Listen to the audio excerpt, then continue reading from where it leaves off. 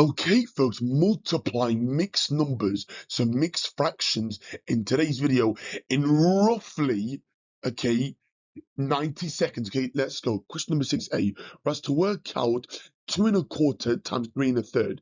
Give your answer as a mixed number uh, in its simplest form. So step one, we will convert them both to improper fractions or top-heavy fractions. So two and a quarter, well, two wholes is eight quarters. To have eight quarters plus one quarter is nine quarters. Again, if you're unsure, okay, I do four times two is eight, plus that one makes nine. Okay, times by, again, three times three is nine, plus that one makes 10. So I get 10 thirds.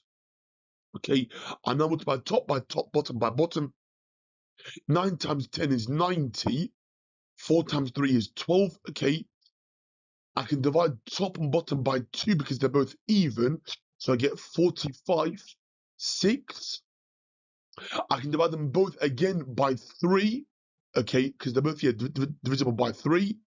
Okay, so 45 divided by 3 is 15. Again, if you're not sure, yeah, check with the bus stop method. And 6 divided by 3 is 2. You'll get 15 halves. Okay, so that is what I call an improper fraction. So 2 into 15 goes 7 times the remainder of 1. So the final answer just reads 7.5. And a half. And that, guys, was worth 3 marks. Okay, that's how we multiply mixed numbers, okay, or mixed fractions. Okay, so we convert it into an improper fraction okay, and then multiply top by top, bottom by bottom, and simplify where possible, okay? That's how we multiply mixed numbers, okay? Thanks for watching, okay? Happy Monday, okay? Happy 30th of September, okay? Bye for now.